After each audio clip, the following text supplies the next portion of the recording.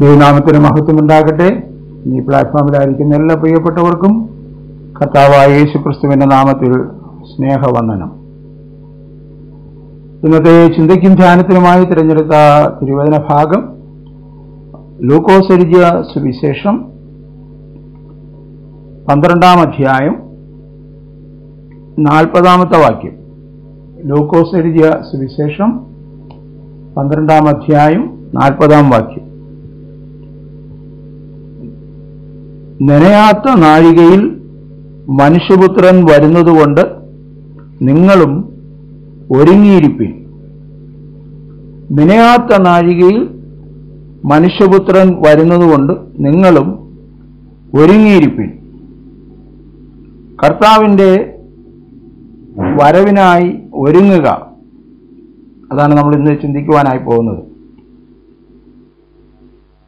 കർത്താവിന്റെ ഒന്നാമത്തെ വരവ് പ്രവചിച്ച് മൂവായിരം വർഷം കഴിഞ്ഞിട്ടാണ് കർത്താവ് ഈ ഭൂമിയിൽ ഭൂജാതനാകുന്നത് ഒന്നാമത്തെ വരവ്. മൂവായിരം വർഷം കഴിഞ്ഞ്. കാരണം ആദ്യമായി ഉൽപ്പത്തിയിൽ നമ്മളത് കാണുന്നു. സ്ത്രീയുടെ സന്തതി നിന്റെ തലയെ തകർക്കുമെന്ന് പിശാവിനോട് പറയുകയാണ്.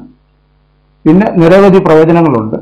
അപ്പോൾ ആ പ്രവചനങ്ങളുടെ എല്ലാം നിവർത്തീകരണമായി ക്രിസ്തു ജനിക്കുമ്പോൾ ആദ്യത്തെ പ്രവചനം മൂവായിരം വർഷം പഴക്കമുണ്ട്. യേശു കർത്താവിന്റെ വരവിനെക്കുറിച്ച് രണ്ടായിരം വർഷം കൊണ്ട് ദൈവമക്കൾ പ്രസംഗിക്കുകയും പ്രതീക്ഷിക്കുകയും കാത്തിരിക്കുകയും ചെയ്യുന്നു. ചിലർ വിചാരിക്കുന്നത് കർത്താവ് ഇനി വരു വരുമോ എന്നൊക്കെയുള്ള സംശയങ്ങളുണ്ട്. എന്നാൽ നിശ്ചയമായും കർത്താവ് വീണ്ടും വരും. പഴയ നിയമത്തിൽ അറുന്നൂറ് പ്രാവശ്യം കർത്താവിന്റെ വരവിനെക്കുറിച്ച് സൂചിപ്പിക്കുന്ന പ്രവചന ശബ്ദങ്ങൾ അവിടെ ഉണ്ട്. പുതിയ നിയമത്തിൽ മുന്നൂറ്റി പതിനെട്ട് പ്രാവശ്യം കർത്താവിന്റെ രണ്ടാം വരവിനെ കുറിച്ച് പ്രതിപാദിച്ചിരിക്കുന്നു. അപ്പോൾ ഈ കർത്താവിന്റെ വരവിനായി ഒരുങ്ങുക എന്ന് പറയുമ്പോൾ അത് വലിയ സീരിയസ് ആയിട്ടുള്ള ഒരു കാര്യമായി ഇന്ന് എടുക്കുന്നുണ്ടോ? പരീക്ഷ അടുക്കുമ്പോൾ പരീക്ഷയ്ക്കായിട്ട് ഒരുങ്ങുന്നത് നമുക്കറിയാം. നമ്മുടെ മക്കൾ പരീക്ഷയ്ക്ക് ഒരുങ്ങാതെ അപ്പോഴേ അലക്ഷ്യമായിട്ടിരുന്നാൽ നമ്മൾ പരീക്ഷ എടുത്തിട്ടും നീ പരീക്ഷയ്ക്കായിട്ട് ഒരുങ്ങാത്തത് എന്തെന്ന് ചോദിക്കും? ചിലർക്ക് പരീക്ഷ എടുക്കുമ്പോൾ പരീക്ഷ പനി വരുന്നു. അപ്പോഴായിരിക്കും ഭയങ്കര പഠിത്തമൊക്കെ. യാത്രയ്ക്ക് വേണ്ടി നമ്മൾ ഒരുങ്ങാറുണ്ട്. ദീർഘയാത്രകൾക്ക് വേണ്ടി കാര്യമായി നമ്മൾ ഒരുങ്ങും. ശസ്ത്രക്രിയ ഡോക്ടർ പറയുകയാണ് ആ ശസ്ത്രക്രിയക്ക് വേണ്ടിയുള്ള പ്രിപ്പറേഷൻ ഒരുപക്ഷെ ഇതിനെല്ലാം ഡേറ്റ് ഉണ്ട്. ഇന്ന ഡേറ്റിലാണ് അപ്പൊ ആ ഡേറ്റിൽ പ്രതീക്ഷിച്ച് നമുക്ക് ഒരുങ്ങാൻ പറ്റും. ആ ഒരു കാൽക്കുലേഷനിൽ എന്നാൽ കർത്താവിന്റെ വരവെന്ന് പറയുന്നത് ഡേറ്റ് തന്നിട്ടില്ല. നനയ്ക്കാത്ത നാഴികയിൽ നനയാത്ത നാഴികയിൽ മനുഷ്യപുത്രൻ വരുന്നത് കൊണ്ട് നിങ്ങളും ഒരുങ്ങിയിരിപ്പിൻ എന്നാണ് കർത്താവ് പറയുന്നത്. കർത്താവിന്റെ വരവിനായി ഒരുങ്ങുക. കർത്താവിന്റെ വരവ് രണ്ട് ഘട്ടങ്ങളിൽ നിന്നാണ് നമ്മൾ തിരുവചനത്തിലൂടെ മനസ്സിലാക്കുന്നത്. ഒന്ന് കർത്താവ് പണിയുന്ന തന്റെ സഭയെ ചേർക്കുവാനായി താൻ വരുന്നു. മത്തായി യേശു വിശേഷം പതിനാറിന്റെ പതിനെട്ടിൽ നമ്മൾ ഇങ്ങനെ വായിക്കുന്നു. പത്രോസിനോട് പറയുകയാണ് നീ പത്രോസാകുന്നു ഈ പാറമേൽ ഞാൻ എന്റെ സഭയെ പണിയും. ആ ഈ പാറ എന്ന് പറയുന്നത് യേശു പറഞ്ഞ പത്രോസ് പറഞ്ഞ സ്റ്റേറ്റ്മെന്റ് ആണ്. നീ ജീവനുള്ള ദൈവത്തിന്റെ പുത്രനായ ക്രിസ്തു. ഓ ക്രിസ്തു എന്ന ശാശ്വത പാറ ക്രിസ്തു എന്ന പിളർന്ന പാറ പിളർക്കപ്പെട്ട പാറ. ആ പാറമേലാണ് സഭയെ പണിയുന്നത്. ഞാൻ എന്റെ സഭയെ പണിയും. കർത്താവ് പണിയുന്ന തന്റെ സഭയെ ചേർക്കുവാനായി കർത്താവ് വരുന്നു. അത് രഹസ്യവരവായിരിക്കും. അതിന് റാപ്ചർ എന്ന് ഇംഗ്ലീഷിൽ പറയുന്നു എടുക്കപ്പെടൽ എന്ന് പറയുന്നു. ഉൽപ്രാപണം. അപ്പോൾ കർത്താവിന് ഒരു സഭയുള്ളൂ ഞാൻ എന്റെ സഭയെ പണിയുമെന്നാണ്. എന്റെ സഭകളെ പണിയുമെന്നല്ല. ഞാൻ എന്റെ സഭയെ പണിയും. അപ്പൊ കർത്താവിന്റെ സഭയിലുള്ളവർ അവരുടെ ഉള്ളിൽ വ്യക്തമായ ഒരു ബോധ്യമുണ്ട്. എന്താണ് ആ ബോധ്യം? അപ്പോസിലെ പ്രവർത്തികൾ ഇരുപതാം അധ്യായം ഇരുപത്തെട്ടാം വാക്യം. അപ്പോസ്തല പ്രവർത്തികൾ ഇരുപതിന്റെ ഇരുപത്തിയെട്ട്. നിങ്ങളെ തന്നെയും താൻ സ്വന്തം രക്തത്താൽ സമ്പാദിച്ചിരിക്കുന്ന ദൈവത്തിന്റെ സഭ യേശുവിന്റെ രക്തത്താൽ വിലയ്ക്ക് വാങ്ങപ്പെട്ടവരുടെ കൂട്ടം. ഞാൻ യേശുവിന്റെ രക്തത്താൽ വിലയ്ക്ക് വാങ്ങപ്പെട്ടവനാണ്. ഞാൻ എനിക്കുള്ളവനല്ല. ഞാൻ ക്രിസ്തുവിനുള്ളതാണ്. ആ ക്രിസ്തുവിനുള്ളതാണെന്നുള്ളത് അത് അംഗീകരിച്ച് ഞാൻ എന്റേതല്ല അവിടത്തേതാണെന്ന് പൂർണമായും വിട്ടുകൊടുത്തവർ. അങ്ങനെയുള്ളവരെ തനിക്ക് കൊണ്ടുപോകാൻ പറ്റൂ. കാരണം താൻ കള്ളനെ പോലെ വന്നാലും കള്ളനായിട്ടല്ല വരുന്നത്. തന്റേതല്ലാത്ത ഒന്നിനെയും കൊണ്ടുപോകത്തില്ല. അവർ എന്തെല്ലാം കാര്യങ്ങൾ ചെയ്യുന്നവരായിരുന്നാലും പൂർണമായി പൂർണമായി അപ്പന്റെ കരങ്ങളിലേക്ക് വിട്ടുകൊടുത്തവർ. യേശു അതൊക്കെ വളരെ ഷാർപ്പായിട്ടാണ് പറഞ്ഞത്. എന്നേക്കാൾ അധികം അപ്പനെയോ അമ്മയോ മകനെയോ മകളെയോ സ്നേഹിക്കുന്നവൻ എനിക്ക് കൊള്ളാകുന്നവനല്ല. എന്റെ ക്രൂശെടുക്കാത്തവനും എനിക്ക് യോഗ്യനല്ല. എന്നൊക്കെ വളരെ ഷാർപ്പായിട്ടാണ് പറഞ്ഞത്. അപ്പോൾ അതുകൊണ്ട് ഭാര്യയും മക്കളെയും കൊച്ചുമക്കളെയും ഒന്നും സ്നേഹിക്കേണ്ടതാണോ? ഇല്ല. അവരെല്ലാം സ്നേഹിക്കുന്നത് ഒരു ദൈവ ദൈവസ്നേഹത്താലാണ്. മാനുഷിക സ്നേഹത്താലല്ല അവർ സ്നേഹിക്കുന്നത്. അതിനേക്കാൾ ഉപരിയായ ദൈവസ്നേഹത്താൽ ഒരു ആത്മീക സ്നേഹത്താലാണ്.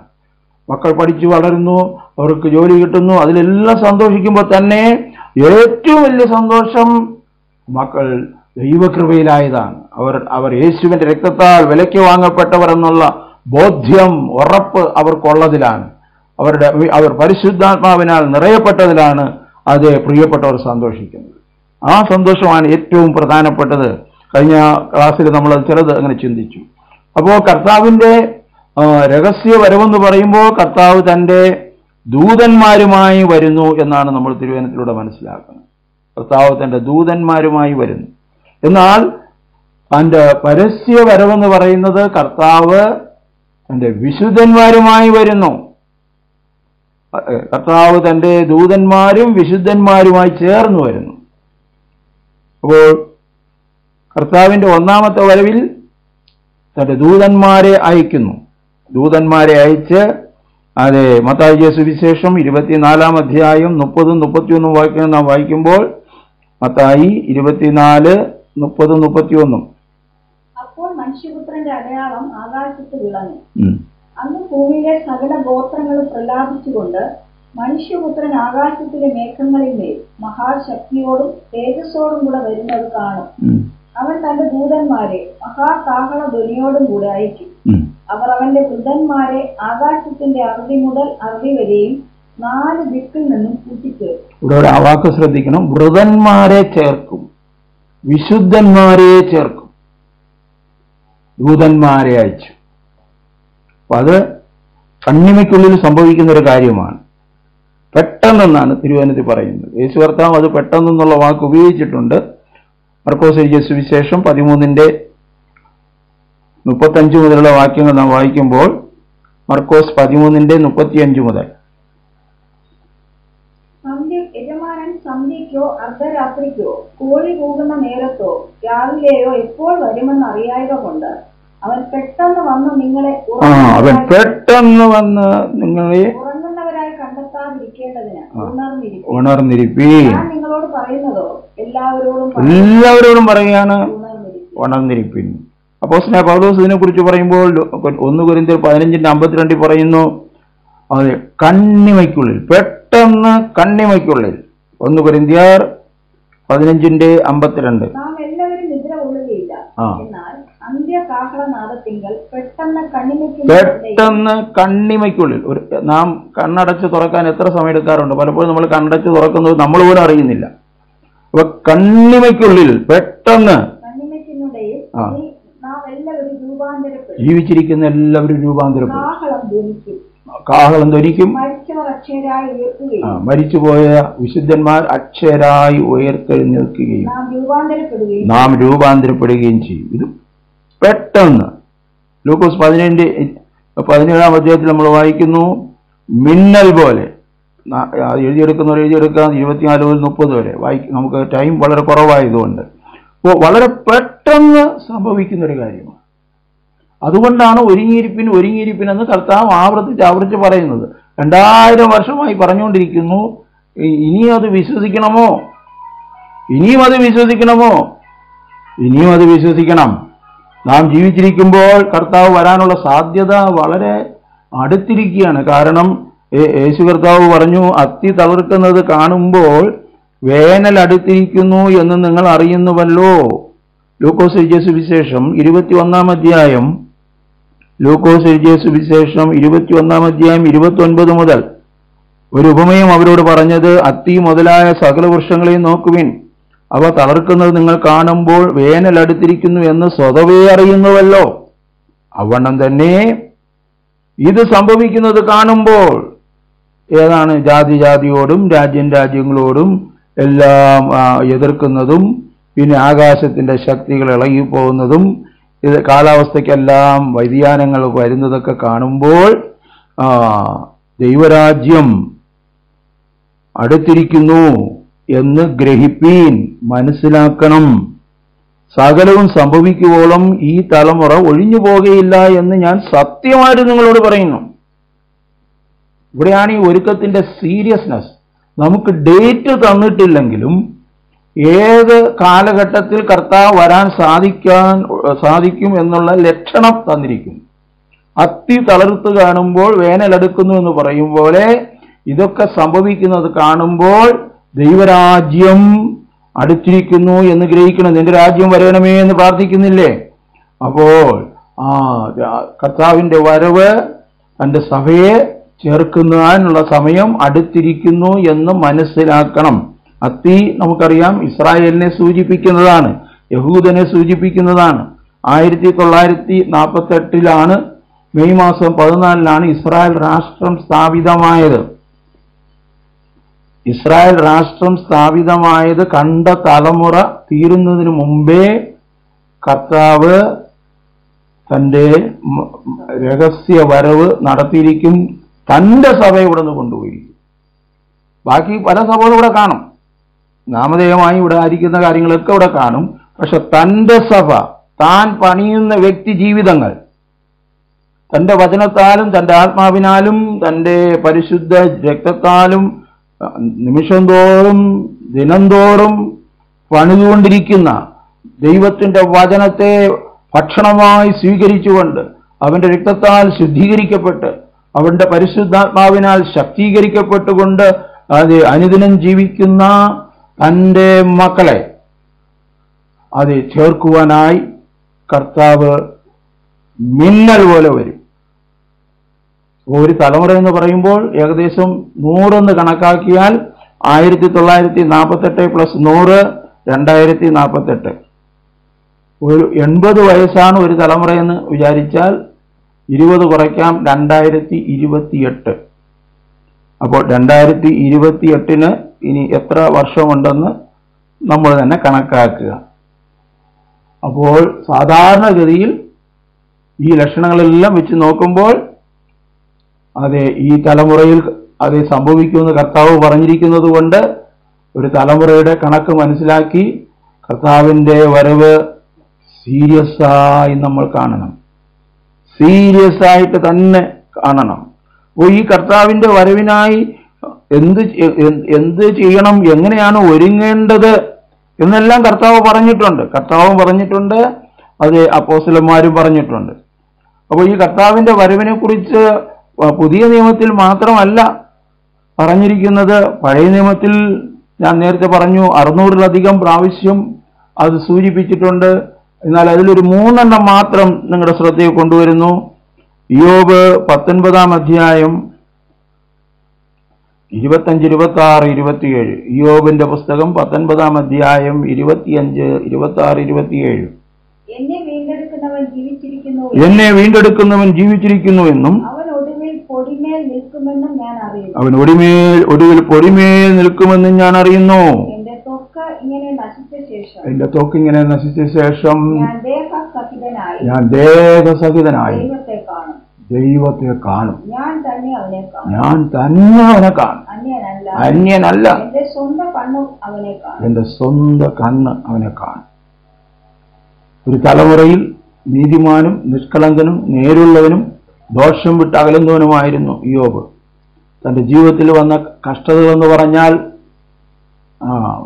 വർണിക്കാൻ അസാധ്യമാണ്. തന്റെ സകല സമ്പാദ്യം നഷ്ടപ്പെട്ടു. തന്റെ മക്കൾ നഷ്ടപ്പെട്ടു. തന്റെ ആരോഗ്യം നഷ്ടപ്പെട്ടു. തന്റെ ഭാര്യ പോലും പറഞ്ഞു ഇനിയും ഈ ദൈവത്തെ എന്തിനാണ് നീ മുറുകെ പിടിച്ചുകൊണ്ടിരിക്കുന്നത് തള്ളി പറഞ്ഞിട്ട് ചെന്ന് നീ ആത്മഹത്യ ചെയ്യുന്നതാണ് നിനക്ക് നല്ലതെന്ന്.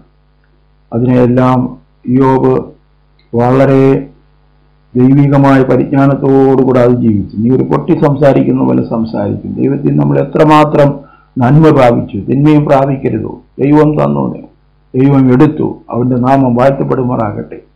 ഇതിനെല്ലാം പറഞ്ഞ് അത് ഇതിനെല്ലാം സ്നേഹിതന്മാരുടെ വാക്കുകൾ എല്ലാം വരുമ്പോൾ അതിനെല്ലാം അതിജീവിച്ചിട്ട് അവൻ ഒടുവിൽ പറയുകയാണ് ഞാൻ ദേഹസഹിതനായി ഞാൻ കാണും. എന്റെ വീണ്ടെടുപ്പുകാരൻ ജീവിച്ചിരിക്കുന്നു. അന്യനല്ല എന്റെ സ്വന്തം കണ്ണ് തന്നെ അവനെ കാണും.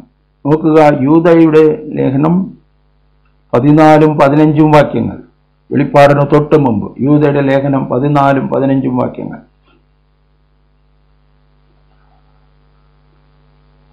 ആദാം മുതൽ ഏഴാമനായ ഹനോക്ക് ഇവരെ കുറിച്ച് ഇതാ കർത്താവ് എല്ലാവരെയും വിധിപ്പാനും അവർ അഭക്തിയോടെ ചെയ്ത ഭക്തിവിരുദ്ധമായ സകല പ്രവൃത്തികൾ നിമിത്തം ഭക്തികെട്ട പാപികൾ തന്റെ നേരെ പറഞ്ഞ സകല നിഷ്ഠൂരങ്ങളും നിമിത്തവും ഭക്തികെട്ടവരെ ഒക്കെ ബോധം വരുത്തുവാനും ആയിരം ആയിരം വിശുദ്ധന്മാരോടുകൂടെ വന്നിരിക്കുന്നു എന്ന് പ്രവചിച്ചു. ആയിരമായിരം ആയിരം ആയിരം വിശുദ്ധന്മാർ വന്നിരിക്കുന്ന ഹനോക്ക് പ്രവചിച്ചു. ശരീരത്തോടുകൂടെ ദൈവസേനയിൽ എടുക്കപ്പെട്ട രണ്ടുപേരിൽ ഒരാളാണ് ഹനോക്ക്. ഒന്ന് ഹനോക്ക് മറ്റൊന്ന് ഏലിയാവും. ഹനോക്കിന്റെ ആ പ്രവചനം പരിശുദ്ധാത്മാവിൽ യൂത രേഖപ്പെടുത്തിയിരിക്കുകയാണ്. ദാനിയലിന്റെ പുസ്തകം ഏഴാം അധ്യായം പതിമൂന്നാം വാക്യം. ദാനിയൽ ഏഴിന്റെ പതിമൂന്ന്.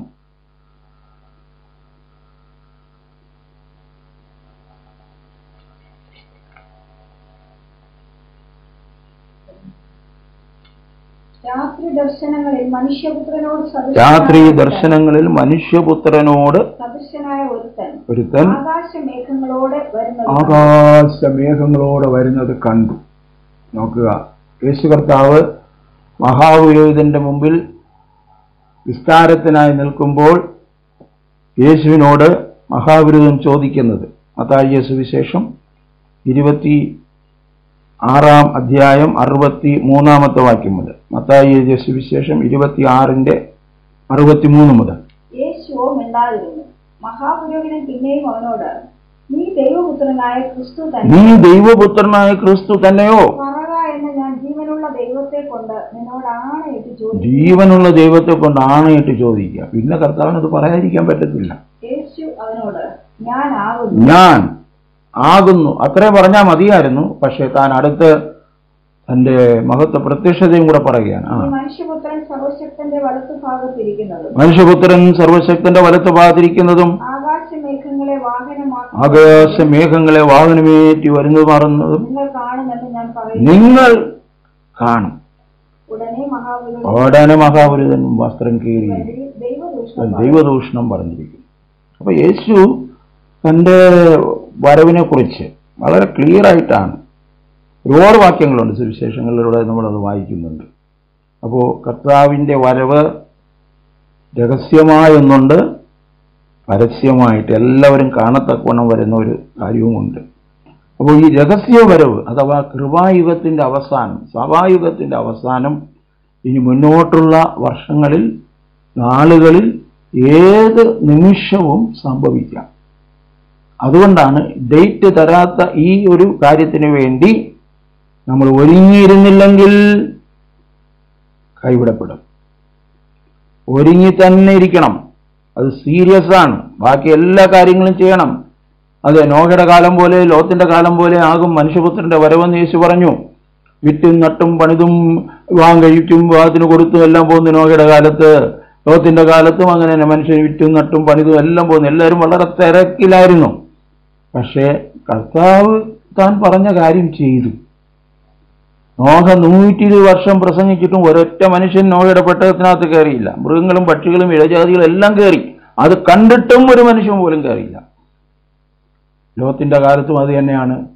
അത് ദൂതന്മാർ വന്ന് നേരിട്ട് പറഞ്ഞിട്ടും അത് ലോകത്ത് ചെന്ന് എന്റെ മരുമക്കളോ ആകാൻ പോകുന്നിടത്ത് പറഞ്ഞിട്ടും അവിടെ ഒന്നും ആരും ശ്രദ്ധിച്ചില്ല സീരിയസ് ആയിട്ട് എടുത്തില്ല. ലോകത്തിന്റെ ഭാര്യ ഓടിയെങ്കിലും ഓട്ടം മുന്നോട്ടായിരുന്നു. പക്ഷെ നോട്ടം പുറകോട്ടായതുകൊണ്ട് ഉപ്പുതൂണായി മാറി. യേശു കർത്താവ് പറഞ്ഞു remember Mrs Lot remember Mrs Lot അപ്പൊ കർത്താവിന്റെ വരവ് കളിയല്ല. അങ്ങ് വന്ന് വെറുതെ അങ്ങ് എല്ലാവരും എടുത്തുകൊണ്ട് പോകത്തില്ല. ആളുകൾ ചുമ്മാ പാടും. അതെ കർത്താവിൻ വരവിൽ നമ്മെ എടുത്തിടുമ്പോൾ അങ്ങനെയൊന്നും എടുത്തുകൊണ്ടൊന്നും പോകത്തില്ല. കർത്താവ് തന്റെത് മാത്രമേ കൊണ്ടുപോകത്തുള്ളൂ. ഈ ലോകത്തിന് അനുരൂപമായി ജീവിച്ച് ഒരു വിശ്വാസിയാണെന്ന് പറഞ്ഞ് എങ്ങനെയെങ്കിലും അത് പള്ളിക്കൊക്കെ ഒരുപാട് കൊടുത്ത്. പലരും പള്ളിക്ക് കൊടുക്കുന്നത് ലക്ഷക്കണക്കിനാണ് കൊടുക്കുന്നത്. അവരൊക്കെ വിചാരിക്കുന്നത് പള്ളിക്ക് കൊടുത്തു കഴിഞ്ഞാൽ എന്തോ സ്വർഗം കിട്ടും പുണ്യം കിട്ടുമെന്നാണ് പക്ഷേ അത് അതിന്റെ അനുഗ്രഹങ്ങളെല്ലാം ഈ ലോകത്തിൽ തന്നെ കിട്ടും. കർത്താവ് നീതിയോടെ അതിനുവേണ്ടി ചെയ്യേണ്ടതെല്ലാം ചെയ്യും. പക്ഷേ കർത്താവിന്റെ വരവെങ്കിൽ എടുക്കപ്പെടണമോ? അതിനായി ഗൗരവമായി ഒരുങ്ങിയിരിക്കണം ഒരുങ്ങിയിരിക്കണം. അതിനെക്കുറിച്ച് ഒന്നാമതായി ഒരുങ്ങാൻ ശ്രദ്ധിക്കേണ്ട ഒരു കാര്യം അത് ലൂക്കോസ് സുവിശേഷം ഇരുപത്തിയൊന്നാം അധ്യായം മുപ്പത്തിയാറാം വാക്യമാണ്. യേശു കർത്താവ് പറയുകയാണ് ലൂക്കോസ് ഇരുപത്തൊന്നിന്റെ മുപ്പത്തി ആറ് മുതൽ ആ ഈ സംഭവിപ്പാനുള്ള എല്ലാറ്റിനും എന്താണ് അവിടെ ഈ സംഭവിപ്പാനുള്ള പറഞ്ഞിരിക്കുന്നത്? മുപ്പത്തിനാല് പറയുന്നു നിങ്ങളുടെ ഹൃദയം ആദ്യ ഭക്ഷണത്താലും മദ്യപാനത്താലും ഉപജീവന ചിന്തകളാലും ഭാരപ്പെട്ടിട്ട് പെട്ടെന്ന് ആ ദിവസം പെട്ടെന്ന് കെണി പോലെ വരാതിരിക്കാൻ സൂക്ഷിക്കുകയുള്ളൂ യേശു അത് ഒന്നും പറഞ്ഞില്ല തന്റെ വരവിനെ കുറിച്ച് എങ്ങനെയായിരിക്കും എന്നൊന്നും പറഞ്ഞില്ല എങ്ങനെ ഒരുങ്ങണമെന്നൊന്നും പറഞ്ഞില്ല എന്ന് പറയുവാൻ നമുക്ക് അനുവാദമില്ല. കർത്താവ് പറയേണ്ടതെല്ലാം വ്യക്തമായി പറഞ്ഞിട്ടുണ്ട്. ലോകം എങ്ങനെയായിരിക്കും? അമിത ഭക്ഷണം ലഹരി വസ്തുക്കളുടെ അമിത ഉപയോഗം ഉപജീവന ചിന്തകളെക്കുറിച്ചുള്ള ഭാരം എങ്ങനെ ജീവിക്കും? അതെ. ഹൃദയത്തിൽ മുഴുവൻ അതാണ്. ഹൃദയം മുഴുവൻ. അതിന്റെ കൂടെ വചനം കേൾക്കും അതിന്റെ കൂടെ പ്രാർത്ഥിക്കും പക്ഷേ ഹൃദയത്തിൽ ഒരു സമാധാനവുമില്ല. കാരണം ഭാരം മുഴുവൻ ഹൃദയത്തിനകത്ത് കയറ്റി വെച്ചിരിക്കുക. ഈ ഭാരം കൊണ്ട് ഓടാൻ പറ്റത്തില്ല. അതുകൊണ്ടാണ് അതിന് പരിശുദ്ധാത്മാവ് പറയുന്നത് സകല ഭാരവും മുറുകെ പറ്റുന്ന പാപവും വിട്ട് മുമ്പിൽ വെച്ചിരിക്കുന്ന ഓട്ട സ്ഥിരതി ഓടണം ഓടണം. ചിലർ പാപമൊക്കെ വിട്ടോടും പക്ഷെ ഭാരം വിട്ടോടത്തില്ല. ഭാരവും വിട്ടോടണം. ഭാരവും വിട്ടോടണം ഈ ഹൃദയം ശത്രുവായ പിശാചിനെ നന്നായിട്ട് അറിയാം യേശു കർത്താവ് രണ്ടാമതും വരുമെന്ന്. അതുകൊണ്ട് ആ വരവിനെ അത് ഇപ്പോഴൊന്നും സംഭവിക്കില്ല എന്ന് പറഞ്ഞ് അതേ അതിനെ അതിനെ ലഘുവായി കാണാൻ പിശാജ് അങ്ങ് ഏറ്റവും പ്രവർത്തിച്ചുകൊണ്ടിരിക്കുക അതിനുവേണ്ടി ദൈവ ദൈവവേലക്കാരെ എല്ലാം അവൻ ശക്തമായി ഉപയോഗിക്കുന്നു. ഇന്ന് ഇരുപത്തൊന്ന് ദിവസം ഉപവാസ പ്രാർത്ഥന ആയിരുന്നാലും കൺവെൻഷൻ യോഗം ആയിരുന്നാലും പലയിടത്തും വിടുതലും അനുഗ്രഹവും മാത്രമേ പ്രസംഗം കേൾക്കാനുള്ളൂ. കർത്താവിന്റെ വരവിനായി ഒരുങ്ങണമെന്ന് പറയുന്ന പറയുന്നവർ വളരെ ചുരുക്കം. സാത്താൻ വളരെ തന്ത്രപരമായി അതേ ക്രിസ്തുവിനോടുള്ള ഏകാഗ്രത അതേ ക്രിസ്തുവിനോടുള്ള ഏകാഗ്രത അവന്റെ വരവിനായിട്ടുള്ള ഒരുക്കം എത്ര സീരിയസ് ആണെന്ന് ജനം ചിന്തിക്കുവാൻ അവൻ അനുവദിക്കുന്നില്ല. നാം ആ അവന്റെ കെണിയിൽ വീണു പോകരുത്. ആ, അവിടെ പറയാം ഹൃദയ അതിവശ ഇത് സർവഭൂതത്തിൽ വസിക്കുന്ന ഏവർക്കും വരും. ഈ സംഭവിക്കാനുള്ളതെല്ലാം ഒഴിഞ്ഞു പോകുവാനും മനുഷ്യപുത്രന്റെ മുമ്പിൽ നിൽക്കുവാനും നിങ്ങൾ പ്രാപ്തരാകേണ്ടതിന് സദാകാലം ഉണർന്നും പ്രാർത്ഥിച്ചുകൊണ്ടിരിപ്പിൻ. വാച്ച് ആൻഡ് പ്രേ ഉണർന്ന് സുബോധമത്തോടുള്ളവരായിരിക്കണം. പ്രാർത്ഥിച്ചുകൊണ്ടിരിക്കണം. പ്രാർത്ഥന വിഷയം എന്താണ് കർത്താവേ? അങ്ങടെ സനിയെ നിൽപ്പാൻ എന്നെ പ്രാപ്തീകരിക്കണമേ.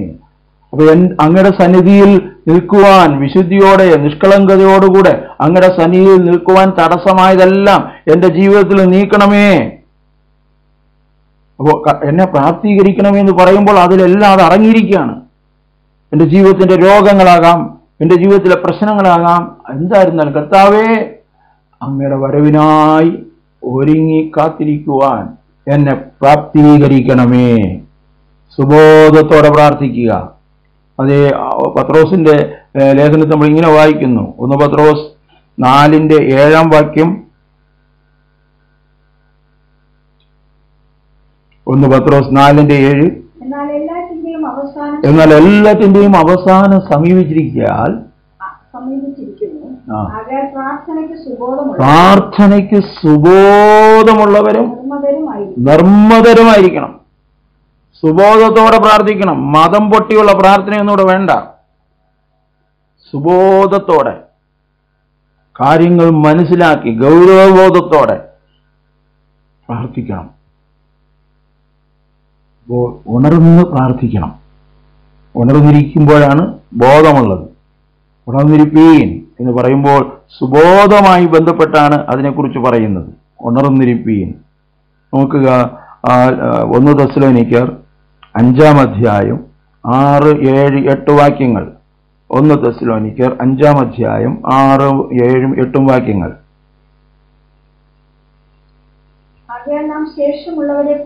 ശേഷമുള്ളവരെ പോലെ ഉറങ്ങാതെ ഉണർന്നും സുബോധവുമുള്ളവരായി ആയിരിക്കണം. ഉറങ്ങുന്നവർ രാത്രി ഉറങ്ങുന്നു. മദ്യപിക്കുന്നവർ രാത്രി മദ്യപിക്കുന്നു. നാം പകലിനുള്ളവരാകിയാൽ. അപ്പൊ ഇരുട്ടിന്റെ മക്കൾ അവരുടെ ഒരു സ്റ്റൈലിൽ അങ്ങ് ജീവിക്കുക. പക്ഷെ നാം വെളിച്ചത്തിന്റെ മക്കളാണ്. അതൊക്കെ മുകളിൽ പറഞ്ഞിട്ടുണ്ട്. നാം വെളിച്ചത്തിന്റെ മക്കളായിരിക്കുക. നാം പകലിനുള്ളവരായിരിക്കാൻ വിശ്വാസവും സ്നേഹവും എന്ന കവചവും ആ, ഹെൽമറ്റായി രക്ഷയുടെ പ്രത്യാശയും ധരിച്ചുകൊണ്ട് സുബോധമായി സുബോധമായിരിക്കുക. കർത്താവ് വരാൻ പോകുന്നു എന്ന് പറഞ്ഞ് ഇളകാനല്ല. പരിഭ്രാന്തനാകാനല്ല. സുബോധമുള്ളവരായിരിക്കണം. ദൈവത്തിന്റെ സർവായുധവർഗം മുഴുവനും ധരിച്ചിരിക്കണം. Put on the whole armour of God ആ നീതി എന്ന കവചം വചനമെന്ന വാൾ വിശ്വാസമെന്ന പരിച അത് വചനം സത്യവചനം അരക്കി കെട്ടി സമാധാന സുവിശേഷം ഒരുക്കം കാലിന് ചെരുപ്പാക്കി പരിശുദ്ധാത്മാവിൽ പ്രാർത്ഥിക്കണം. പരിശുദ്ധാത്മാവിൽ പ്രാർത്ഥിക്കുക. അല്ലാതെ വെറുതെയുള്ള പ്രാർത്ഥനയല്ല. പരിശു നമുക്ക് എങ്ങനെ പ്രാർത്ഥിക്കണമെന്ന് നമുക്കറിയത്തില്ല. റോമർക്ക് ലേഖനം എട്ടാമത്തെയായും ഇരുപത്തി ആറാം വാക്യം നമ്മൾ വായിക്കുമ്പോൾ പൗലോസൂലും പറയുകയാണ് അവണ്ണം ആത്മാവ് തന്നെ നമ്മുടെ ബലഹീനതയ്ക്ക് തുണ നിൽക്കുന്നു. വേണ്ടും പോലെ പ്രാർത്ഥിക്കേണ്ടത് എന്തെന്ന് നാം അറിയുന്നില്ലല്ലോ. അപ്പോൾ ഈ അന്ത്യനാളുകളിൽ പ്രാർത്ഥന വിഷയം ഭയങ്കരമാണ്. കാരണം ഒരിടത്തും സ്വസ്ഥതയില്ല ഒരിടത്തും സമാധാനമില്ല. അപ്പോൾ ദൈവഹിതപ്രകാരം പ്രാർത്ഥിപ്പാൻ. പരിശുദ്ധാത്മാവ് നമ്മെ സഹായിക്കും. അപ്പൊ പരിശുദ്ധാത്മാവിൽ വേണം നാം പ്രാർത്ഥിക്കുവാൻ. എഫേസരക്ക് ലേഖനം ആറാം അധ്യായത്തിൽ അതിനെക്കുറിച്ച് അപ്പോസനായ പൗലോസ് ദൈവത്തിന്റെ സർവായുധവർഗം പറഞ്ഞ് ആ ആയുധവർഗമെല്ലാം ആക്ടിവേറ്റ് ആകുന്നത് ആത്മാവിൽ പ്രാർത്ഥിക്കുമ്പോഴാണ്. പരിശുദ്ധാത്മാവിൽ പ്രാർത്ഥിക്കുമ്പോഴാണ്. ആറാം അധ്യായം എഫേസർക്ക് ലേഖനം ആറാം അധ്യായം പതിനെട്ടാം വാക്യം. സകല പ്രാർത്ഥനയാലും യാചനയാലും ഏത് നേരത്തും ആത്മാവിൽ പ്രാർത്ഥിക്കും. ഏത് നേരത്തും പരിശുദ്ധാത്മാവിൽ പ്രാർത്ഥിക്കണം.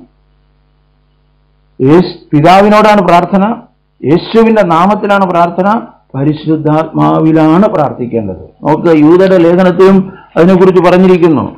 യൂതയുടെ ലേഖനം. അതിന്റെ അവസാന ഭാഗത്ത് വരുമ്പോൾ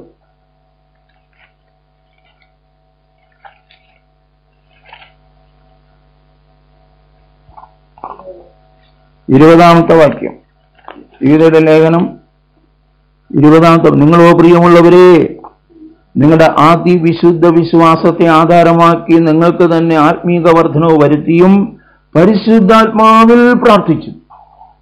പരിശുദ്ധാത്മാവിൽ പ്രാർത്ഥിക്കും അന്യഭാഷ ലഭിച്ചവർ അന്യഭാഷയിൽ പ്രാർത്ഥിക്കണം. കാരണം ഒന്ന് വരുന്നതിൽ പതിനാലിന്റെ പതിനാലിൽ പറയുന്നു അന്യഭാഷയിൽ പ്രാർത്ഥിക്കുന്നവൻ ആത്മാവിൽ പ്രാർത്ഥിക്കുന്നു. അത് ബസ്സിൽ വെച്ചാകാം യാത്ര ചെയ്യുമ്പോൾ അടുക്കളയിൽ നിൽക്കുമ്പോഴാകാം ഓഫീസിലായിരിക്കുമ്പോഴാകാം എവിടെയും ഉള്ളിൽ അന്യഭാഷയെ പ്രാർത്ഥിപ്പാനായി കഴിയും. അപ്പോൾ ഒന്നാമത് ഒരുങ്ങുന്നതിന്റെ ഒന്നാമത് കാര്യം പരിശുദ്ധാത്മാവിൽ പ്രാർത്ഥിക്കുക. അവിടുത്തെ വരവിൽ അങ്ങയുടെ സന്നിധിയിൽ പ്രാഗൽഭ്യത്തോടെ നിൽക്കുവാൻ പ്രാപ്തീകരിക്കേണ്ടതിന് പ്രാർത്ഥിപ്പീൻ സുബോധത്തോടെ പ്രാർത്ഥിപ്പീൻ. രണ്ടാമത് ചെയ്യേണ്ട കാര്യം ദൈവവചന പഠനമാണ്. രണ്ട് തിമത്യോസ് മൂന്നാം അധ്യായം പതിനാറും പതിനേഴും വാക്യങ്ങൾ നാം വായിക്കുമ്പോൾ രണ്ട് തിമത്യോസ് മൂന്നിന്റെ പതിനാറും പതിനേഴും വാക്യങ്ങൾ. എല്ലാ തിരുവഴുത്തും ദൈവവിശ്വാസീയമാകയാൽ ദൈവത്തിന്റെ മനുഷ്യൻ സകല സൽപ്രവർത്തിക്കും സകല സൽപ്രവൃത്തിക്കും വക പ്രാപിച്ച് തികഞ്ഞവനാകേണ്ടതിന് ഉപദേശത്തിനും ശാസനത്തിനും ഉന്നീകരണത്തിനും നീതിയുടെ അഭ്യാസനത്തിനും എല്ലാ തിരുവഴുത്തും എല്ലാ തിരുവഴുത്തും ദൈവനിശ്വാസ്യമാണ് അപ്പൊ അതുകൊണ്ട് ദൈവത്തിന്റെ വചനമാണ് നമ്മുടെ ഭക്ഷണം. ദൈവത്തിന്റെ വചനമാണ് പിശാചിനെതിരെ ഉപയോഗിക്കാനുള്ള ഒരേ ഒരു ആയുധം. അപ്പൊ ക്രിസ്തുവിന്റെ വചനം നമ്മുടെ ഉള്ളിൽ ഐശ്വര്യമായി വസിക്കണം. നമ്മുടെ ഹൃദയം മുഴുവനും ആ ദൈവവചനത്താൽ നിറയപ്പെട്ടതായിരിക്കണം. അതുകൊണ്ടാണ് എബ്രാഹിർക്ക് ലേഖനം പത്താം അധ്യായത്തിൽ ഇരുപത്തിനാലും ഇരുപത്തഞ്ചും വാക്യങ്ങളിൽ എബ്രാഹിം ലൈനകർത്ത എഴുതിയിരിക്കുന്നത് ചിലർ ചെയ്യുന്നത് പോലെ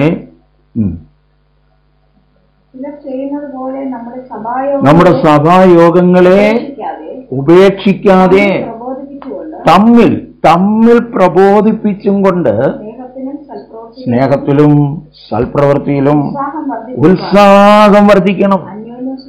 അന്യോന്യം ആ കാര്യത്തിൽ സൂക്ഷിക്കണം. സ്നേഹത്തിനും സൽപ്രവൃത്തികൾക്കും ഉത്സാഹമായിരിക്കണം.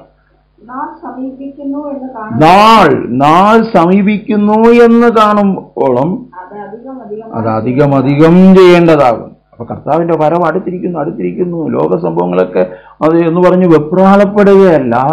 അപ്പോൾ നമ്മുടെ സ്നേഹം വർദ്ധിക്കണം. നമ്മുടെ സൽപ്രവർത്തികളിൽ വർദ്ധിക്കുന്നതിൽ നമ്മൾ ഉത്സാഹമുള്ളവരായിരിക്കണം. തമ്മിൽ പ്രബോധിപ്പിക്കണം. തമ്മിൽ തമ്മിൽ പ്രബോധിപ്പിക്കണം ഭവനത്തിൽ പ്രബോധിപ്പിക്കണം. ഭാര്യ ഭർത്താവിനെ ഭർത്താവ് ഭാര്യയെ മക്കളെ അപ്പനമ്മ മക്കളോട് മക്കൾ മക്കളും ആത്മീയമായി വളർന്ന അവരും തമ്മിൽ ഒരു ഭയങ്കര ഒരു ഫെലോഷിപ്പ് സഭായോഗം. നമ്മളെല്ലാം ആരാധന ആരാധന വൺ മാൻ ഷോ ആയി മാറിപ്പോയി. ഇല്ല നാൾ സമീപിക്കുന്നു എന്ന് കാണുവോളം അത് അധികം അധികം ചെയ്യേണ്ടതാണ്. ദൈവവചനം. അടുത്ത് മൂന്നാമതായി മാനസാന്തരം. മാനസാന്തരം. അത് വളരെ പ്രധാനപ്പെട്ടതാണ്. യേശു കർത്താവ് ഉയർത്തെഴുന്നേറ്റ് ശേഷം പോലും അന്നത്തെ ഏഴ് സഭകൾക്ക് ദൂതെഴുതുമ്പോൾ അഞ്ച് സഭകളോടും പറയുകയാണ് മാനസാന്തരപ്പെടുക. മാനസാന്തരപ്പെടുക. കാരണം കർത്താവിന്റെ നിലവാരത്തിൽ നിന്ന് ക്രിസ്തുവിന്റെ സഭയുടെ നിലവാരത്തിൽ നിന്ന് വീണിരിക്കുകയാണ്. ചിലയിടത്ത് സ്നേഹമില്ല ചിലയിടത്ത് വചനമില്ല കള്ളപ്രവചനങ്ങൾ ദുരുപദേശങ്ങൾ സർദീസിലെ സഭയെ നോക്കുമ്പോൾ ജീവനില്ല. ലവോദിക്ക സഭയെ നോക്കുമ്പോൾ പണം ഇഷ്ടം പോലെയുണ്ട് പക്ഷേ ശീതോഷ്ണാവസ്ഥയാണ്. കുരുടനെന്നറിയുന്നില്ല നഗ്നനെന്നറിയുന്നില്ല നിർഭാഗ്യവാനാണെന്നറിയുന്നില്ല അരിഷ്ടനാണെന്നറിയുന്നില്ല. ഒരേ ഒരു പോലും റിപ്പാൻഡ് നമ്മൾ രക്ഷിക്കപ്പെട്ടപ്പോൾ ഞാൻ പാവിയാണെന്ന് പറഞ്ഞ് കാൽവരി ക്രൂസിലെ യാഗത്തെ എന്റെ രക്ഷയ്ക്കാണെന്ന് അതേ വിശ്വസിച്ച് മാനസാന്തരപ്പെട്ടു പക്ഷെ മുന്നോട്ടുള്ള ജീവിതത്തിൽ മാനസാന്തരം എന്ന് പറഞ്ഞ് ഈ ലോകത്തിന് അനുരൂപമാകാതെ നന്മയും പ്രസാദവും പൂർണതയുമുള്ള ദൈവഗതം തിരിച്ചറിഞ്ഞ് മനസ്സ് പുതുക്കി രൂപാന്തരപ്പെട്ടുകൊണ്ടേയിരിക്കുന്നു. അത് മനസ്സാക്ഷിയുടെ മാറ്റമാണ് ഹൃദയത്തിന്റെ മാറ്റമാണ്. യേശുവിന്റെ രക്തം ഹൃദയത്തെയാണ് ശുദ്ധീകരിക്കുന്നത് മനസ്സാക്ഷിയാണ് ശുദ്ധീകരിക്കുന്നത്. എബ്രാർക്ക് ലേഖനം ഒമ്പതിന്റെ പതിനാല് നമു- നമുക്കറിയാം ആ വാക്യം എബ്രായ ഒമ്പതിന്റെ പതിനാല്. നിത്യാത്മാവിനാൽ പിതാവായ ദൈവത്തിന് തന്നെത്താൻ നിഷ്കളങ്കനായി അർപ്പിച്ച ക്രിസ്തുവിന്റെ രക്തം ജീവനുള്ള ദൈവത്തെ ആരാധിപ്പാൻ നിങ്ങളുടെ മനസ്സാക്ഷിയെ അതിനകത്തിരിക്കുന്ന നിർജീവ പ്രവൃത്തികളെ പോക്കി ജഡത്തിന്റെ പ്രവൃത്തികളെ പോക്കി എത്രയധികം ശുദ്ധീകരിക്കും. അപ്പോൾ അനുതാപം പശ്ചാത്താപം ഏറ്റുപറച്ചിൽ അത് വളരെ ഗൗരവമായി ഉണ്ടാവണം. അത് ലളിതമാകരുത്. തൊണ്ണൂറ്റി മൂന്നാമത്തെ വയസ്സിലും അപ്പോസനായ യോഹന്നാൻ പറയുകയാണ് നാം തന്നെ കൂടെ ചേർത്താണ് അല്ലാതെ നീ എന്നല്ല. നാം നമ്മുടെ പാപങ്ങളെ ഏറ്റുപറയുന്നുവെങ്കിൽ അവൻ നമ്മുടെ പാപങ്ങളെ നമ്മോട് ക്ഷമിച്ച് സകല അനീതിയും പോക്കി നമ്മെ ശുദ്ധീകരിപ്പാൻ തക്കവണ്ണം വിശ്വസ്തനും നീതിമാനുമാകുന്നു. സ്നേഹവാനുമാകുന്നു എന്നല്ല നീതിമാൻ. അത് കോടതി ഭാഷയാണ്. ദൈവത്തിന്റെ നീതിയാണ് കാൽവരി ക്രൂശിൽ പ്രദർശിപ്പിച്ചത്. ആ നീതിയെ അംഗീകരിച്ചവർ നീതിയോടെ ജീവിക്കണം. അനി ഏത് അനീതിയും പാപമാണ്. അപ്പോൾ അനീതി വന്നുപോയാൽ ഒരുത്തൻ പാപം ചെയ്താൽ നീതിമാനായ യേശുക്രിസ്തു എന്നൊരു കാര്യസ്ഥൻ നമ്മുടെ പിതാവിന്റെ അടുക്കലുണ്ട്. അവന്റെ അവനോട് നമ്മുടെ പാപങ്ങൾ ഏറ്റു പറഞ്ഞാൽ അവൻ നമ്മെ ശുദ്ധീകരിപ്പാൻ വിശ്വസ്തനും നീതിമാനുമാകുന്നു. അടുത്തതായി നമ്മൾ മനസ്സിലാക്കുന്നത് അതെ വിശ്വാസത്തിൽ നമ്മൾ ആരോഗ്യമുള്ളവരായിരിക്കണം. തീത്തോസ് ഒന്നാം അധ്യായം പതിനാലാം വാക്യത്തിൽ അങ്ങനെ ഒരു പദപ്രയോഗമുണ്ട്. അവർ വിശ്വാസത്തിൽ ആരോഗ്യമുള്ളവരായിരിക്കുക. നമുക്കറിയാം കർത്താവ് വരുമ്പോൾ വിശ്വാസം കണ്ടെത്തുമോ എന്നാണ് കർത്താവ് പോലും ചോദിച്ചത്. എന്താണ് വിശ്വാസം? എന്നെ സൗഖ്യമാക്കും എന്റെ രോഗം മാറ്റും എന്റെ കടഭാരം മാറ്റും എന്റെ പ്രശ്നങ്ങൾക്ക് പരിഹാരം വരുത്തും എന്ന വിശ്വാസമല്ല. അതാണ് നാല് സുവിശേഷങ്ങളിലും കാണുന്ന വിശ്വാസം. നാല് സുവിശേഷങ്ങളിലും യേശു ദൈവോപത്രനായ ക്രിസ്തുവാണെന്ന് അവർ അംഗീകരിച്ചിരുന്നില്ല. ഒരു പ്രവാചകനായി മാത്രം അവർ അംഗീകരിച്ചു. യേശുവിനെ യേശു എന്നെ തൊട്ടാലും ഞാൻ യേശുവിനെ തൊട്ടാലും എനിക്ക് വിടുതൽ നിശ്ചയമാണ്. യേശുവിന്റെ അടുക്ക പോയവരാരും നിരാശരായി മാറിയിട്ടില്ല. പക്ഷെ യേശു സാക്ഷാൽ ദൈവമായിരുന്നവൻ മനുഷ്യ വേഷത്തിലായത് ആയവനാണ്. അതവർ അംഗീകരിച്ചില്ല അതാണ് നമ്മൾ നേരത്തെ വായിച്ചത്. നീ ജീവനുള്ള ദൈവത്തിന്റെ പുത്രനായ ക്രിസ്തുവോ? വായിച്ചപ്പോൾ ആകുന്നു എന്ന് പറഞ്ഞപ്പോൾ മഹാപുരവൻ വസ്ത്രം കീറി ദൈവദൂഷണം ഇവൻ തന്നെ തന്നെ ദൈവമാക്കി. അപ്പോൾ ഇന്ന് വിശ്വാസം ഭയങ്കരമായിട്ട് ശോധന ചെയ്യുക പലർക്കും പള്ളിയിലാണ് വിശ്വാസം ചിലർക്ക് ട്രഡീഷണലിലാണ് വിശ്വാസം ഇതിലൊന്നുമല്ല നമ്മുടെ വിശ്വാസം. വ്യർത്ഥവും പുതു പാരമ്പര്യവുമുള്ള നമ്മുടെ ജീവിതത്തിൽ നിന്ന് നമ്മെ വീണ്ടെടുത്തിരിക്കുന്നത് ക്രിസ്തു എന്ന നിർദോഷവും നിഷ്കളങ്കമായ കുഞ്ഞാടിന്റെ രക്തത്താലാണ്. ഒരു പാരമ്പര്യം ഇവിടെ പറയാനില്ല. യേശു ക്രിസ്തുവിന്റെ രക്തത്താൽ അവൻ എന്നെ വിലയ്ക്ക് വാങ്ങി. ഞാൻ വിശ്വസിക്കുന്നത് ഒരു പള്ളിയല്ല. ഞാൻ വിശ്വസിക്കുന്ന ഒരു മതത്തെയല്ല. ഞാൻ വിശ്വസിക്കുന്ന ഒരു ആശയത്തെയല്ല. ഞാൻ വിശ്വസിക്കുന്നത് ഒരു ആളത്വത്തെയാണ്. നസ്രനായ യേശു ക്രിസ്തു ദാവീദിന്റെ സന്തതിയായി ജനിച്ച് മരിച്ചു ഉയർത്തെഴുന്നേറ്റ യേശു ക്രിസ്തു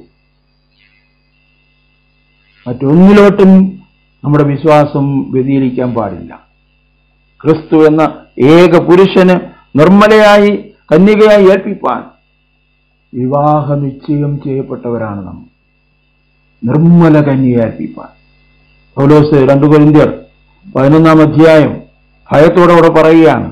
രണ്ട് രണ്ട് കുരിന്തിയർ പതിനൊന്നാം അധ്യായം രണ്ട് മൂന്നും നാലും വാക്യങ്ങളിൽ ഞാൻ നിങ്ങളെക്കുറിച്ച് ദൈവത്തിന്റെ ഇരുവോടെ എരിയുന്നു. ഞാൻ ക്രിസ്തു എന്ന ഏകപുരുഷന് നിങ്ങളെ നിർമ്മല കന്യയായി ഏൽപ്പിക്കാൻ വിവാഹ നിശ്ചയം ചെയ്തിരിക്കുന്നു. എന്നാൽ സർപ്പം ഹവ്വായെ ഉപായത്താൽ ചതിച്ചതുപോലെ നിങ്ങളുടെ മനസ്സ് ക്രിസ്തുവിനോടുള്ള ഏകാഗ്രതയും നിർമ്മലതയും വിട്ട് വഷളായി പോകുമോ എന്ന് ഞാൻ ഭയപ്പെടുന്നു.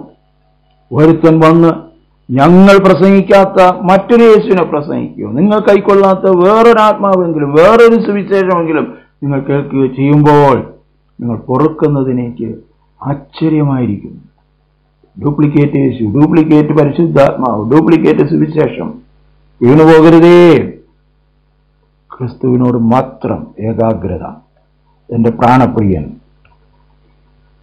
അവൻ എന്നെ വീണ്ടെടുക്കുവാനായി വീണ്ടും വരും. എന്റെ രക്ഷ പൂർത്തീകരിക്കുവാനായി വീണ്ടും വരും. അടുത്തതായി പൗരത്വം ഉറപ്പാക്കുക. പൗരത്വം ഉറപ്പാക്കുക.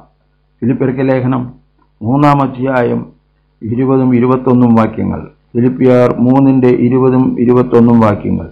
നമ്മുടെ പൗരത്വമോ സ്വർഗത്തിലാകുന്നു അവിടുന്ന് കർത്താവായ ക്രിസ്തു രക്ഷിതാവായി വരുമെന്ന് നാം കാത്തിരിക്കുന്നു. അവിടുന്ന് തനിക്ക് സകലവും കീഴ്പ്പെടുത്തുവാൻ കഴിയുന്ന തന്റെ വ്യാപാര ശക്തിയാൽ നമ്മുടെ താഴ്ചയുള്ള ശരീരത്തെ തന്റെ മഹത്വമുള്ള ശരീരത്തോട് അനുരൂപമാക്കും. ഞാൻ എനിക്കൊരു പൗരത്വം എന്റെ പേരവിടെ ഉണ്ട്. ഞാൻ ഞാൻ സ്വർഗീയ പൗരനാണ്. ഞാൻ ഭൂമിയിൽ ജീവിക്കുന്നുവെങ്കിലും ഞാൻ ഈ ലോകത്തിൽ ജീവിക്കുന്നുവെങ്കിലും സ്വർഗത്തിൽ എന്റെ പേരെഴുതിയിട്ടുണ്ട് അതുകൊണ്ടാണ് യേശു കർത്താവ് പറഞ്ഞത് ശിഷ്യന്മാരോട് പറഞ്ഞു ഭൂതങ്ങൾ നിങ്ങൾക്ക് കിടങ്ങുന്നതിലല്ല സ്വർഗത്തിൽ നിങ്ങളുടെ പേര് എഴുതിയിരിക്കുന്നതുകൊണ്ട് അത്രേ സന്തോഷിപ്പേ പേരവിടെ ഉണ്ടെന്നുള്ളത് ഉറപ്പാക്കുക. ഉറപ്പാക്കുക. അടുത്തതായി പരിശുദ്ധാത്മാവിൽ വസിക്കുക. ഇത് വളരെ വളരെ ഇമ്പോർട്ടന്റ് ആയിട്ടുള്ളൊരു കാര്യം. പരിശുദ്ധാത്മാവിൽ വസിക്കുക. ഒന്നിയോഹന്നാൻ രണ്ടാം അധ്യായം ഇരുപത്തി എട്ടാം വാക്യം ഒന്നിയോഹന്നാൻ രണ്ടിന്റെ ഇരുപത്തെട്ട്.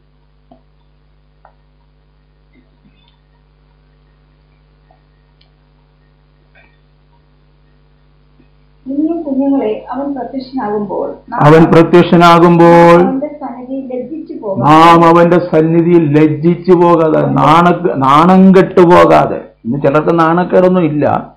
പക്ഷെ കർത്താവ് വരുമ്പോ പലരും നാണക്കേടുണ്ടാവും അവർക്ക്. അവർ വിചാരിച്ചുമായിരിക്കുന്നല്ലോ കാര്യങ്ങൾ. അന്ന് അവർ ലജ്ജിച്ചു പോകും. അപ്പൊ ഇവിടെ വേറെ മുന്നറിയിപ്പ് തരിക. നാം അവന്റെ സന്നിധിയിൽ അവൻ പ്രത്യക്ഷനാകുമ്പോൾ ലജ്ജിച്ചു പോകാതിരിക്കേണ്ടതിന് അവന്റെ പ്രത്യക്ഷതയിൽ നമുക്ക് ധൈര്യമുണ്ട് അവന്റെ പ്രത്യക്ഷതയിൽ നമുക്ക് ധൈര്യം ഉണ്ടാകേണ്ടതിന് അവനിൽ വാസിപ്പീൻ. അവനിൽ വാസിപ്പീൻ. കർത്താവ് പറഞ്ഞു എന്നിൽ വസിപ്പീൻ. എന്നിൽ വസിക്കാത്തവന് ഒരു കൊമ്പ് പോലെ പുറത്ത് തള്ളിക്കളയും. പിന്നെ അതിനെ തീയിലിടും. കൊമ്പ് കൊമ്പ് മുന്തിരിവള്ളിയിൽ വസിക്കുന്നത് പോലെ. ട്വന്റി ഫോർ ഇന്റു സെവൻ കർത്താവിൽ വസിക്കുക. അത് കർത്താവിൽ വസിക്കുന്നതിന്റെ ആ അനുഭവം നമുക്ക് തരുന്നത് പരിശുദ്ധാത്മാവിലാണ്. ഒന്ന് യോഹന നാലിന്റെ പതിമൂന്ന്. ഒന്ന് യോഹന നാലിന്റെ പതിമൂന്ന്. നാം അവനിലും അവൻ നമ്മിലും വസിക്കുന്നു എന്ന് അവിടുന്ന് തന്റെ ആത്മാവ് പരിശുദ്ധാത്മാവിനെ തന്നതിലാൽ നാം അറിയുന്നു. അതുകൊണ്ടാണ് റോമർക്ക് എഴുതുമ്പോൾ അപ്പോസ്റ്റൽ പറയുന്നത് എട്ടാം അധ്യായം ഒൻപതാമത്തെ വാക്യം മുതൽ നിങ്ങളോ ദൈവത്തിന്റെ ആത്മാവ് നിങ്ങളിൽ വസിക്കുന്നു എന്ന് വരികിൽ. ദൈവത്തിന്റെ ആത്മാവ് നിങ്ങളെ സ്പർശിക്കുന്നു എന്ന് വരികിലെന്നല്ല ദൈവത്തിന്റെ ആത്മാവ് നിങ്ങളെ ശക്തിപ്പെടുത്തി എന്ന് വരികിലെന്നല്ല നിങ്ങൾ വസിക്കുന്നു എന്ന് വരികിൽ നിങ്ങൾ ജഡസ്വഭാവമുള്ളവരല്ല ആത്മസ്വഭാവമുള്ളവർ. അപ്പൊ സ്വഭാവം മാറുന്നത് പരിശുദ്ധാത്മാവ് നമ്മൾ വസിക്കുമ്പോഴാണ്. നമ്മൾ വിശുദ്ധരായി മാറുന്നത്. പിന്നെ അടുത്ത് പറയുകയാണ് ശരീരം പാപനിമിത്തം മരിക്കേണ്ടതാണെങ്കിലും ആത്മാവ് നീ നിമിത്തം ജീവനാകുന്നു. ക്രിസ്തുവിന്റെ ആത്മാവില്ലാത്തവൻ അവനുള്ളവനല്ല. പിന്നെ പറയുകയാണ് യേശുവിനെ മരിച്ചവനിൽ നിന്ന് വേർപ്പിച്ചവന്റെ ആത്മാവ് നിങ്ങളിൽ വസിക്കുന്ന എങ്കിൽ ക്രിസ്തു യേശുവിനെ മരിച്ചവരിൽ നിന്ന് ഉയർപ്പിച്ച പിതാവായ ദൈവം നിങ്ങളിൽ വസിക്കുന്ന തന്റെ ആത്മാവിനെ കൊണ്ട് ഈ മർത്യമായത് അമർത്യമായി മാറണം. ഈ മർത്യ ശരീരങ്ങളെ ജീവിപ്പിക്കും. പരിശുദ്ധാത്മാവ് നമ്മൾ വസിക്കുന്നു എങ്കിൽ. അപ്പൊ കർത്താവ് വരുമ്പോഴും അല്ല അതിനുമുമ്പ് മരിച്ചു പോവുകയാണെങ്കിൽ നാം പരിശുദ്ധാത്മാവിലാണ് മരിക്കേണ്ടത്. നമ്മൾ പരിശുദ്ധാത്മാവിൽ ജീവിച്ചിരിക്കണം. പരിശുദ്ധാത്മാവ് നമ്മെ സകല സത്യത്തിലും വഴി നടത്തും. പരിശുദ്ധാത്മാവ് നമുക്ക് സുബോധം തരും. പാപത്തെക്കുറിച്ചും ദൈവത്തിന്റെ നീതിയെക്കുറിച്ചും ന്യായവിധിയെക്കുറിച്ചും ബോധ്യം തരുന്നത് പരിശുദ്ധാത്മാവാണ്. ഇന്ന് പലർക്കും ഇതൊന്നും ഇല്ലാത്തത് പരിശുദ്ധാത്മാവ് ഇല്ലാത്തതിനാലാണ് ബോധമില്ലാതെ ജീവിക്കുന്നത്. ഒന്നിനെക്കുറിച്ചും ബോധമില്ല. ഈ ലോകത്തിലെ കാര്യങ്ങളെക്കുറിച്ച് മാത്രം ബോധമുണ്ട്. അപ്പോൾ ഒരുങ്ങുക. ഡേറ്റ് അറിഞ്ഞൂടാത്ത ഒരു മഹാസംഭവത്തിനായി ഒരുങ്ങുക. അപ്പോൾ ഈ നമ്മൾ ഒരുങ്ങുന്നതിനോടൊപ്പം മറ്റുള്ളവരെയും ഒരുക്കുക. ഒന്ന് പത്രോസ് മൂന്നാം അധ്യായം പതിനഞ്ചാം വാക്യത്തിൽ നമ്മൾ ഇങ്ങനെ വായിക്കുന്നു. ഒന്ന് പത്രോസ് മൂന്നാം അധ്യായം പതിനഞ്ചാം വാക്യം.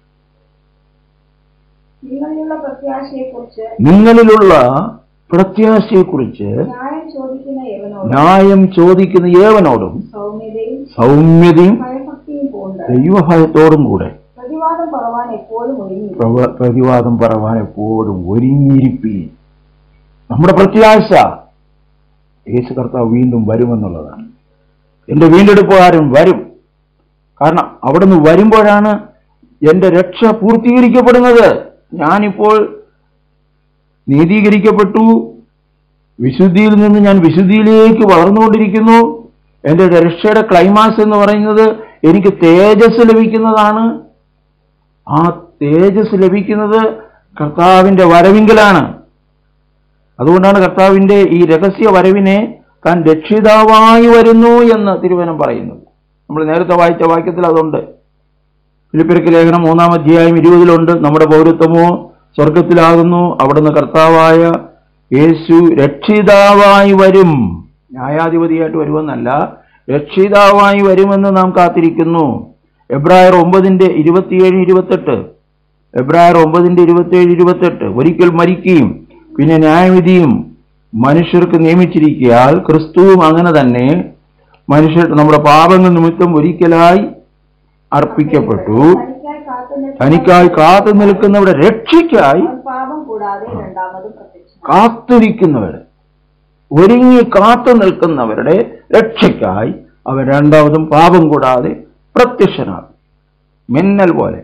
ടൈമില്ല. ഒരുങ്ങാൻ സമയമില്ല. കാരണം ഒരുങ്ങുവിൻ ഒരുങ്ങുവിൻ ഒരുങ്ങുവിൻ നിനയാത്ത നായിലായിരിക്കും വരുന്നതെന്ന് പറഞ്ഞു പറഞ്ഞു പറഞ്ഞു പറഞ്ഞ് രണ്ടായിരം വർഷം കൊണ്ട് പറഞ്ഞിരിക്കുകയാണ്. മരണം എപ്പോൾ വരുമെന്ന് അറിയത്തില്ല. കർത്താവ് വരുമ്പോൾ എപ്പോഴും എന്ന് അറിയത്തില്ല. നാം എപ്പോൾ മരിച്ചാലും എപ്പോൾ കർത്താവ് വന്നാലും ഒരുക്കത്തോടെ ആയിരിക്കുക ഒരുങ്ങിയിരിക്കുക. ഇതാണ് കർത്താവ് നമ്മെക്കുറിച്ച് ആഗ്രഹിക്കുന്നത്. അതുകൊണ്ട് നമ്മൾ കർത്താവിന്റെ വരവിങ്കൽ നമ്മൾ ആരും കൈവിടപ്പെട്ടു പോകാൻ ഇടയാകരുത്. മിന്നൽ പോലെ അവിടുന്ന് വരും. ഈ കാലഘട്ടം വളരെ സീരിയസ് ആണ് ഇത്രയും രണ്ടായിരം വർഷം സഭ പറഞ്ഞുകൊണ്ടിരുന്നത് പോലെ അല്ല. അപ്പോൾ നാളുകൾ സമീപിച്ചുകൊണ്ടേ ഇരിക്കുകയാണ്. അവിടുത്തെ വരവിനായി സീരിയസ് ആയി നാം ഒരുങ്ങുക മറ്റുള്ളവരെ ഒരുക്കുക സുബോധത്തോടായിരിക്കുക. സുബോധത്തോടായിരിക്കുക. ഞെട്ടുകയും ഇളകിപ്പോകുകയൊന്നും വേണ്ട. നാം സുബോധത്തോടും സമാധാനത്തോടും കർത്താവിനെ എതിരേൽക്കുവാൻ ഒരുക്കമുള്ളവരായിരിക്കണമെന്ന് കർത്താവ് ആഗ്രഹിക്കുന്നു. അതിനായി ദൈവത്തിന്റെ പരിശുദ്ധാത്മാവ് നമ്മെ സഹായിക്കുമാറാകട്ടെ. Amén.